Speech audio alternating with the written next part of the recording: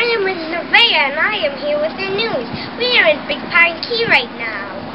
Uh, it is 73 degrees at 4 o'clock. It is sunny, windy, and the sky is beautiful right now. I am here with my grandma, my grandpa, my mom, and my dad. And my brother, Jaden. He just got a haircut today. He used to look like Justin Bieber, and now he looks like a pinhead. That's all.